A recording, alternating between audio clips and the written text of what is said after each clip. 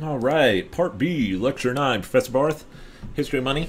So, uh, if you saw Part A, and if you haven't seen Part A, you need to do so.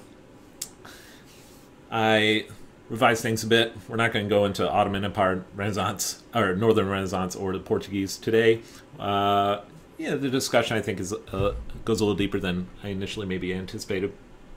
Part B, I'm going to take a little bit of a closer look at usury and Judaism in Renaissance Europe, especially Renaissance Italy, and more particularly than that, in Venice. Part A, again, if you haven't seen it yet, you're going to want to do that. I introduced the subject, of usury. Remember, usury prohibited very strictly by the Roman Catholic Church.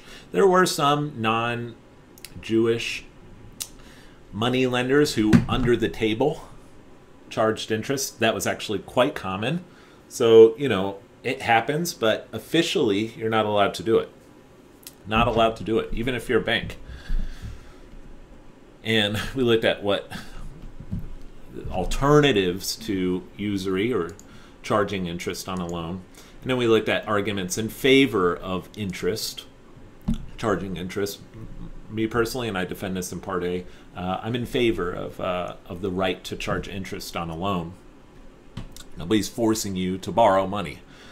And so if you object to paying interest on a loan, well, don't borrow money. But you know, otherwise, people should have the right and freedom to, to do that, or to loan out money and to charge interest if they if they so please. My personal view.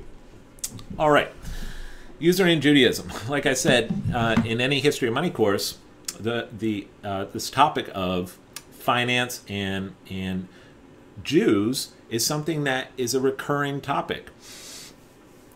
We'll see it later with the rise of the Rothschild family. We'll look at the Rothschilds later. Uh, we see it in a rise of anti Semitism, especially uh, in the 19th and the 20th centuries. Even in the current modern day, uh, you see this popping up a lot on both, uh, and it's not in exclusively, it doesn't belong exclusively to the right. You also see it on the left as well.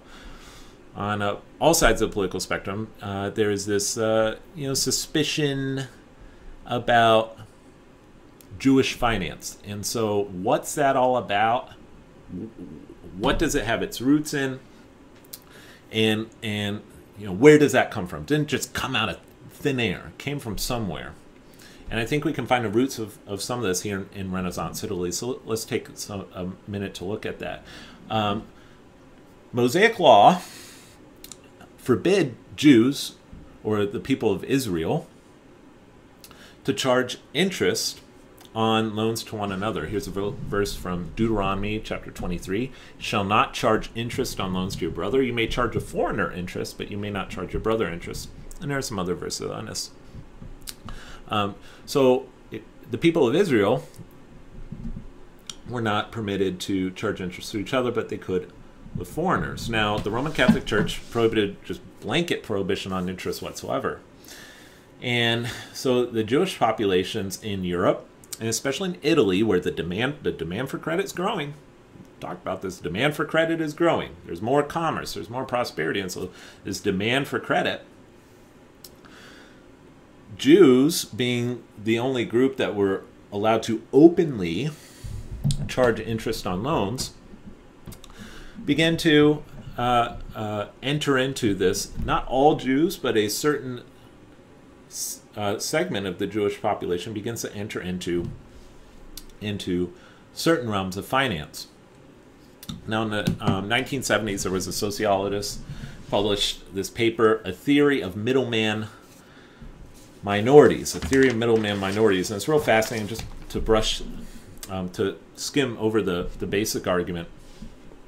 But in his paper and in subsequent research, um, the, the theory has arisen about certain groups called middlemen minority, minorities.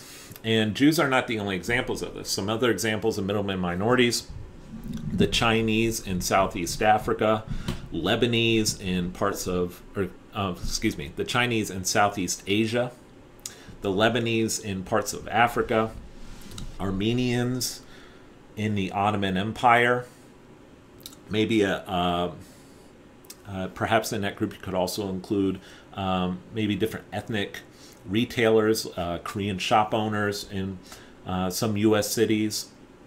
Um, and, and the theory is that uh, in s- certain times in history, there are, mi- there are minority groups, minority groups, usually eth- often ethnic, that are socially distinct from the rest of the community, but earn a reputation and, and, and in part participate economically as middlemen or as intermediaries between producers and consumers.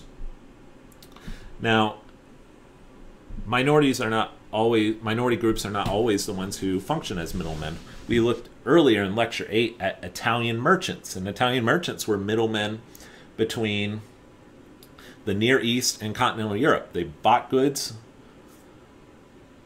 produced in the Middle East or in China, and then they redistributed those goods, sold them at a profit to other groups in Asia. And those were not minority groups, they were just Italian Gentile merchants.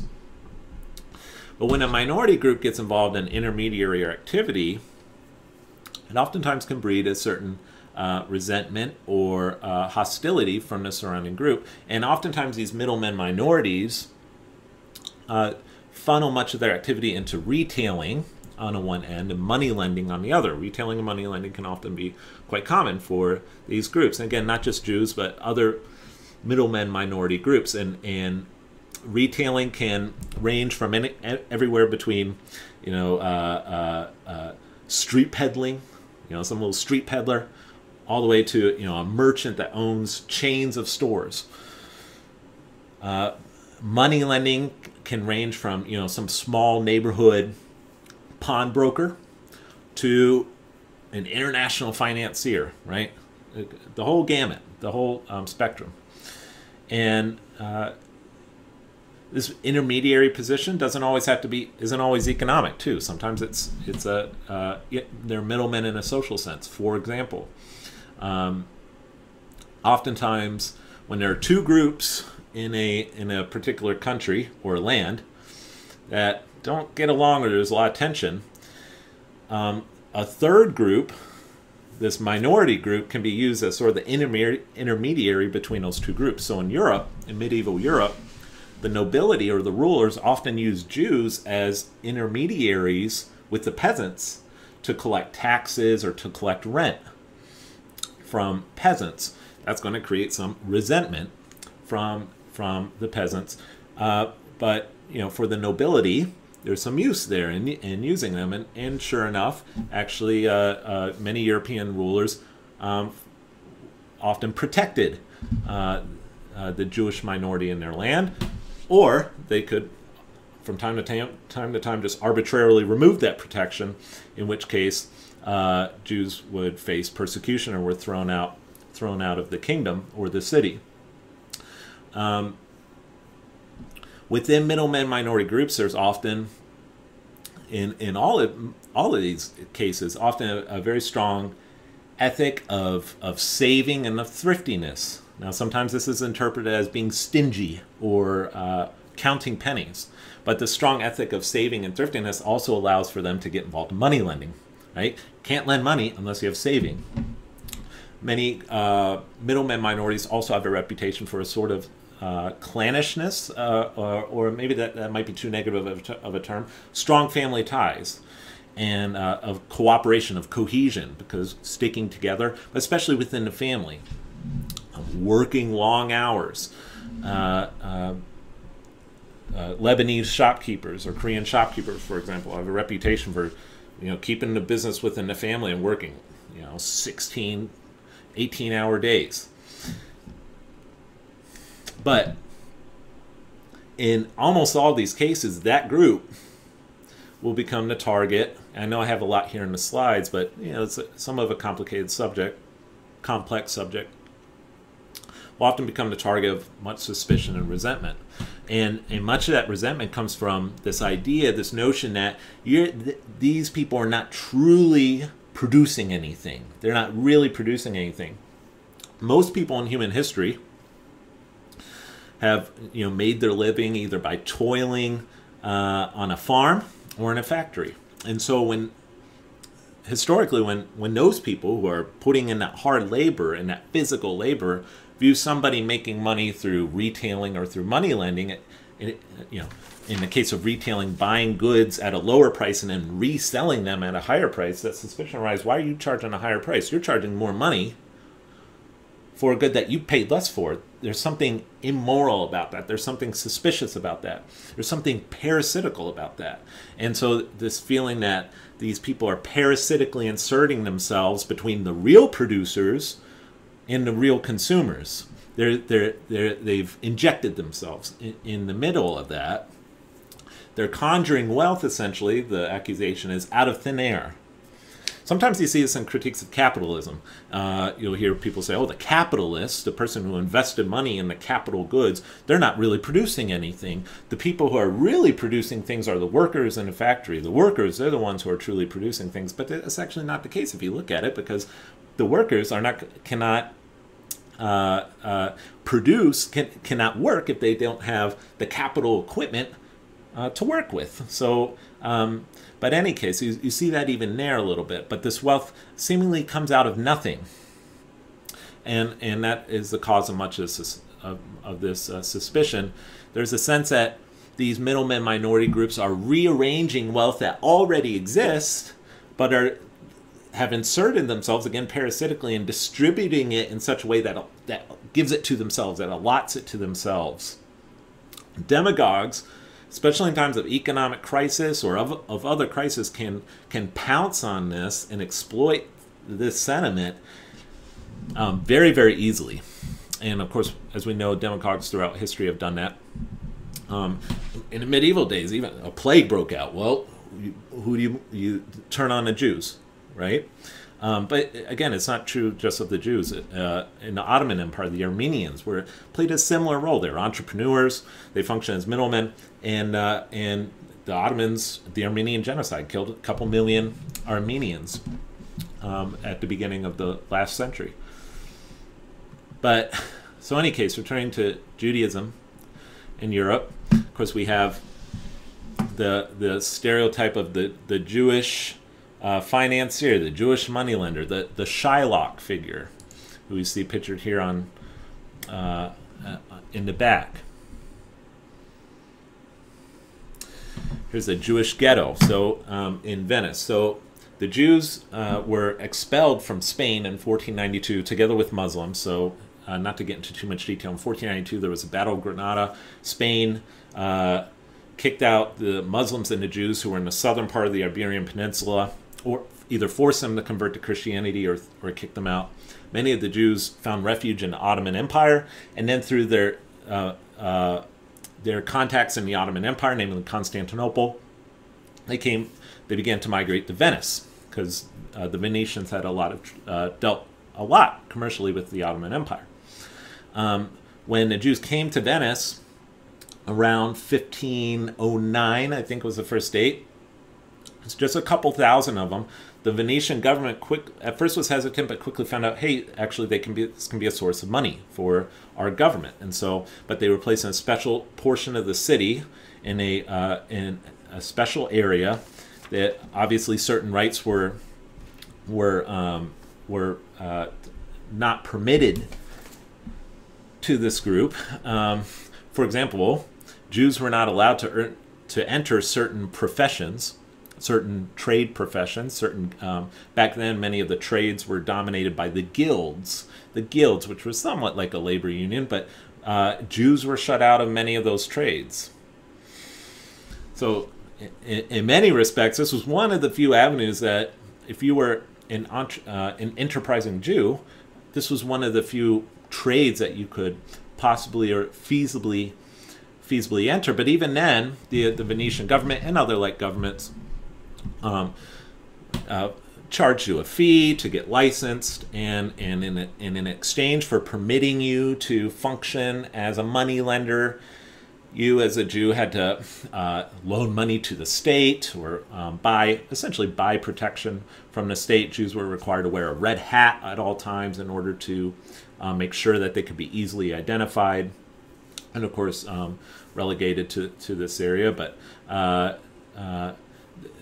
but it wasn't just money lending. It was uh, again, retailing, pawn shops, pawnbroking, um, and and they would lend money sometimes at pretty high rates, at what we would say users rates. Sometimes rates could be as high as 15 to 25 percent if you were if uh, you were a borrower and you didn't have any credit. There was uh, closing the part B discussion here. Very famous um, Shakespearean play, The Merchant of Venice. The Merchant of Venice deals with this very question. Um, there was a merchant named Antonio, uh, a Gentile, and he antagonized one of the Jews in, in Venice, whose name was Shylock. So that's where that comes from, Shylock. And Antonio antagonized him two ways. One, he, he was quite overtly and openly anti Semitic. Uh, B, he antagonized him because Antonio lent out money without interest, and that forced Shylock to, charge lower interest because Antonio, his competitor, is there lending money without interest. Well, anyway, uh, Antonio's friend needs to borrow money, and Antonio at the moment is currently low on cash. And so Antonio's friend goes to Shylock and asks to borrow money. Shylock says uh, that he will lend Antonio's friend money without interest, but on one condition. If Antonio's friend does not repay his loan on time, Shylock must have a pound of his flesh, a pound of flesh. Pretty dramatic story. Well, it's a drama. Um, anyway, uh, and the play goes on. I'm not going to summarize the whole thing. Well, it's uh, historically, many people have, have seen someone uh, have interpreted his play as um, anti-Semitic, but actually, um, uh, though maybe from a 21st century uh, perspective, um, someone who came out with this play would, would encounter a lot of criticism for that. Actually, um, Shakespeare pre- presents Shylock as a very sympathetic character. Later in the book, when uh, in the play, when Shylock is uh, brought to trial, Shylock, uh, very famous passage from uh, a few verses from that play. Shylock says the following: makes a case against uh, uh, the the anti-Semitism of Antonio. He says, "quote Hath not a Jew eyes? Hath not a Jew hands, organs, dimensions, senses, affections, passions? Fed with the same food, hurt with the same weapons, subject to the same diseases, healed by the same means, warmed and cooled by the same winter and summer as a Christian is? If you prick us, do we not bleed? So, yeah, man, Shakespeare was so genius. I mean, I tell you, uh, I just, I'm a huge Shakespeare fan, you could say. Um, Shakespeare, wow, just absolutely incredible. I almost got like chills uh, uh, reading that. Just, um, I mean, Shakespeare Shakespeare is going to be studied for thousands of years into the future. Think about that. That's pretty hardcore. Um, but anyway, so that's that subject. This will come up, you know, again, but you know, this is the most that we'll talk at length about this subject. Of course, when we get to a Rothschild family, Rothschild was a, the the most famous of the Jewish um, banking families, but that doesn't come about until the late 18th and especially 19th century. So, and anyway, so that that covers that. Part B of our lecture, we're going to take a look at banking, but in the banking in Renaissance City wasn't Jewish. It was Gentile. It was just done a little bit differently, but it was dominated by a very, very powerful banking family, a Gentile family, uh, the Medici family. So tune in again for part B. See you there.